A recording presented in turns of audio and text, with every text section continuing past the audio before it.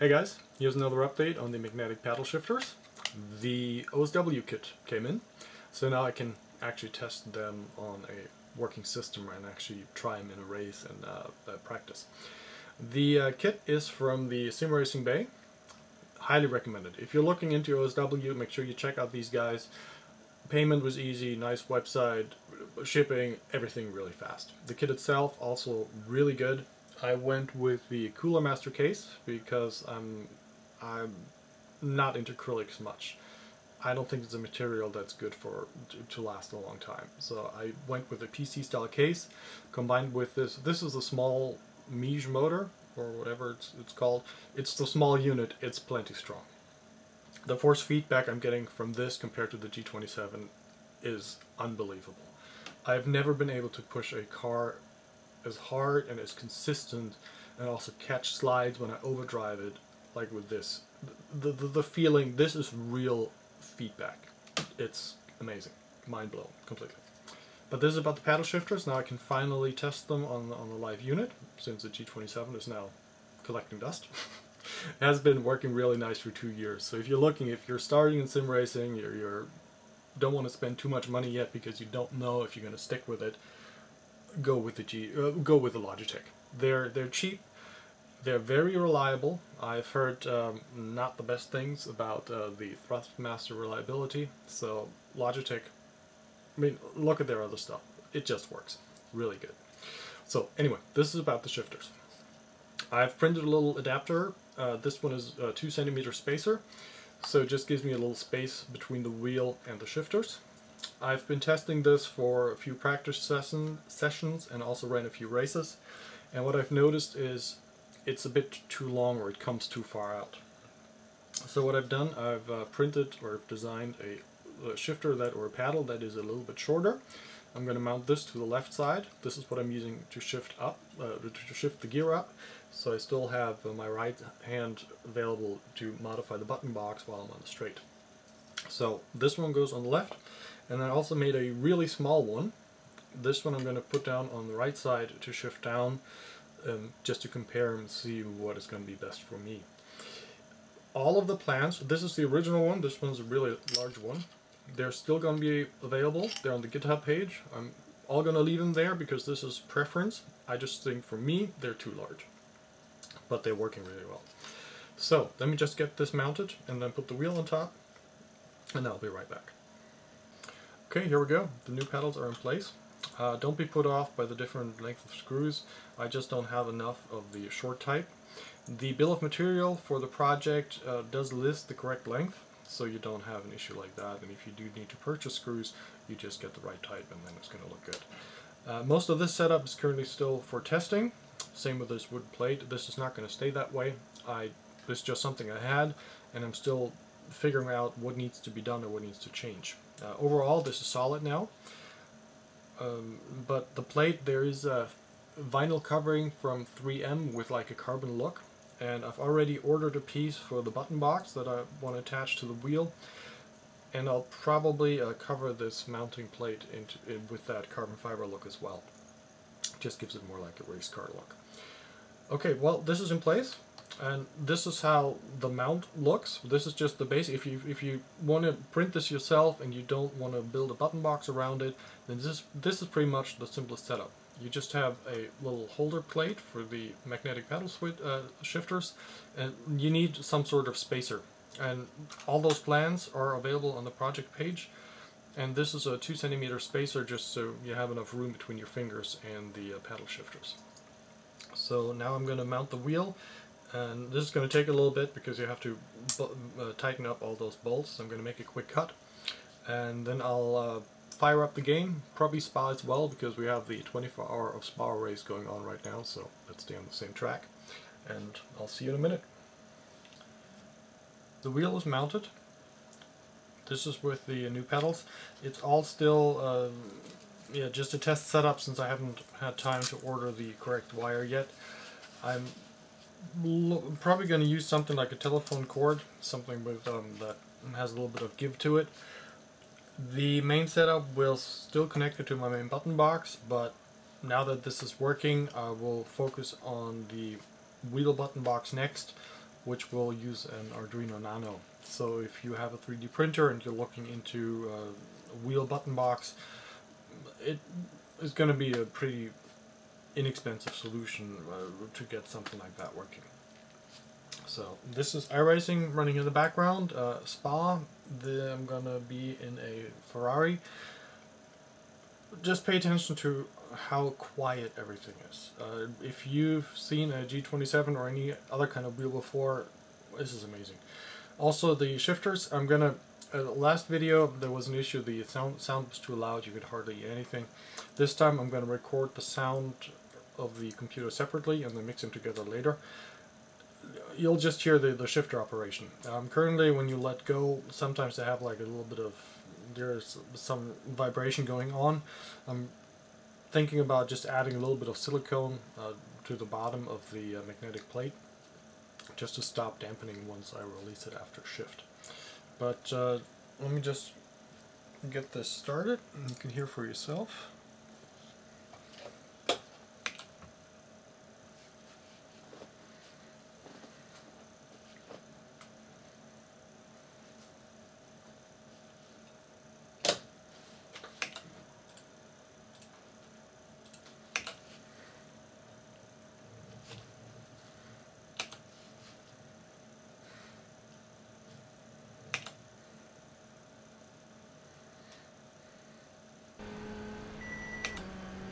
Now the new shorter shifter, I can already feel it, it's working much better. With the old one, I had to get my finger around it. With this uh, shorter style, I just need to reach out and use it. I actually think that I like the really short one. It's more for me. Since I'm only shifting with my fingertips anyway. It also makes there's less leverage on the magnet, so um, it makes it a bit stronger. It feels really good. Now this setup is my race setup. I'm probably not going to be as quick in this one, and also the tires are going to need a little bit to get up to temperature, but this is just about showing the paddle shifters in action.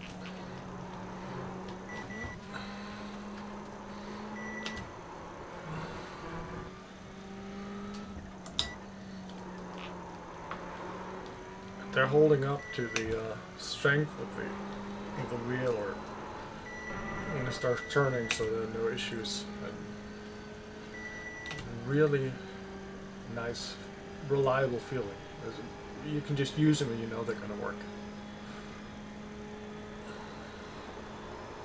Which is pretty much what's, what I've been used to for my G27 shifting everything it always worked. So I'm just trying to replicate this here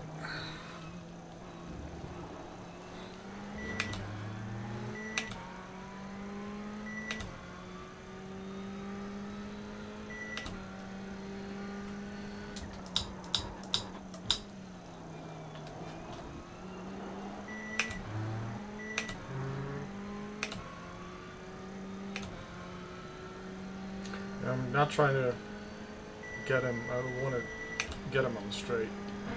So I shifted up a little earlier because it's GT3 and doesn't have as much speed through. There we go.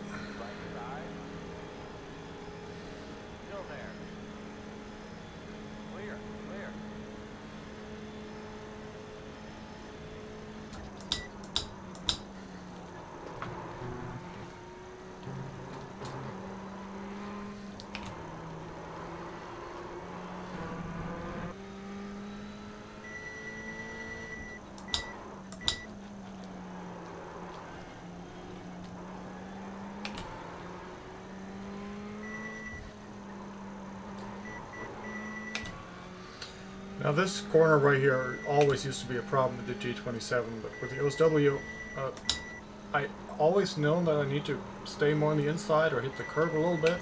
Never been able to do it consistently. Um, with this one, it's everything is more yeah, repeatable.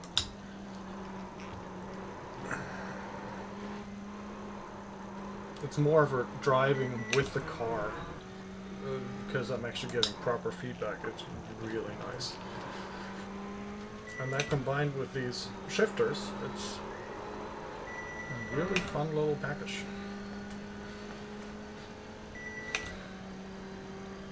The current I need to be careful with the wires so they don't get caught in the bolt. But I've, uh, yeah, I haven't had a problem in training or in the races yet, but you never know. I'm planning on getting uh, Molex connectors. And then that combined with a flexible core should be a good solution here.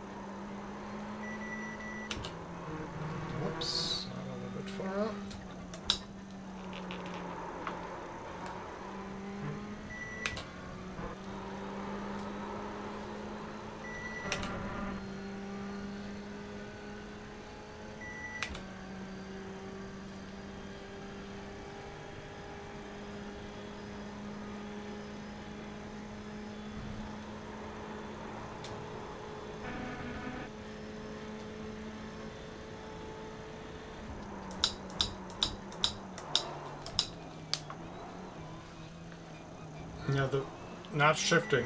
It's just that the uh, car is computer controlled, and I'm trying to downshift too quickly. I'm just trying to go down as fast as possible, but I would override the engine doing that. But since I know I have the protection, I just keep banging it when I can see my gears up here. I can't see over the steering wheel anymore because it's too low. But this view is proper and it looks better. Instead of having the dashboard like all the way up here. Uh, little downside.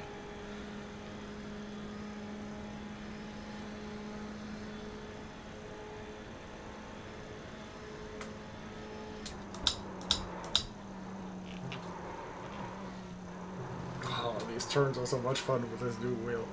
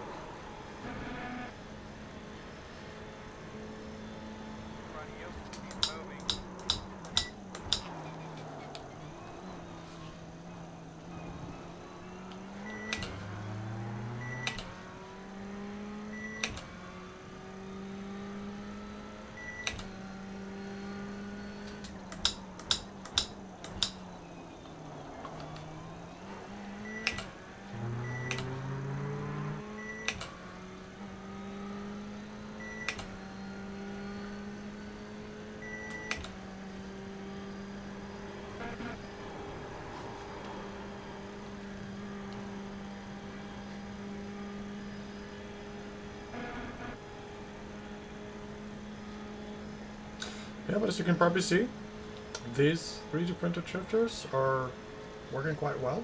So if you have a 3D printer and you're thinking about getting an OSW, this might be a really nice setup for you. At least give it a try. Doesn't cost much. Looks really good. Now the OSW itself, that is most certainly worth it. So not it's like a first wheel, but instead of getting a Fanatec base and wheel, might as well whoa spend a little bit more. Got something amazing.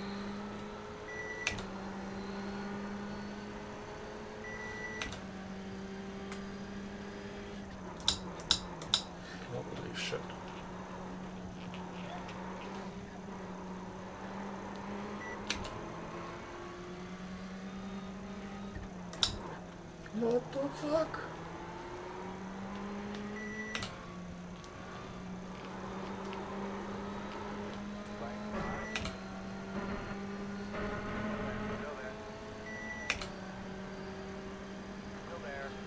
Well, at least you're faster when you're going straight.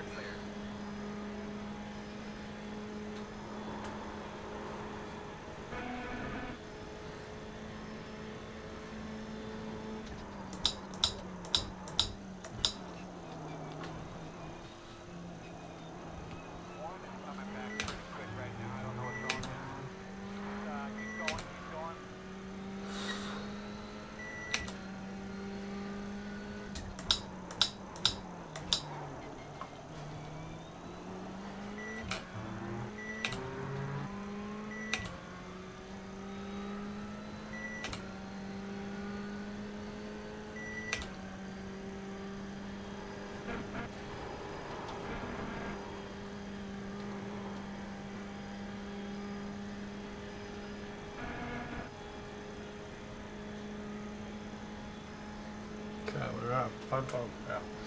Well, I'm actually gonna finish this lap real quick. I think that's enough for showing off the shifters.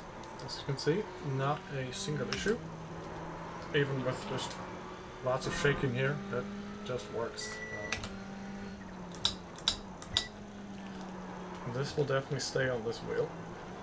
I'll play around with some different paddle designs other than that, uh, I'm also I'm currently trying out a different body, uh, the shifter body. Just uh, not sure, just for fun. Uh, this one is working really good. But if you don't like this design, it's going to be more like a box shape. Uh, but this is most certainly working really well. Woohoo! That's that don't talk to me in corners type thing, huh? In this case, don't speak in corners.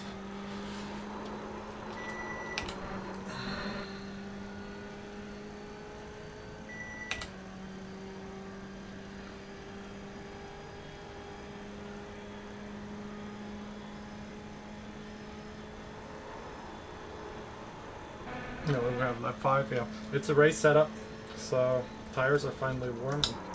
Whoops. So I'm probably gaining some time here. Yeah, finally have some grip. But that's all there for that. So as you can see, the shifters are working quite nice. They're, they're reliable, they're easy to build. All you need is a 3D printer and a little bit of time. So yeah, plans are in uh, at the project's uh, website, GitHub. URL is going to be in the video description below. If you have any questions, feel free to contact me or just uh, give it a try, print it out. Have a good one. See you on track.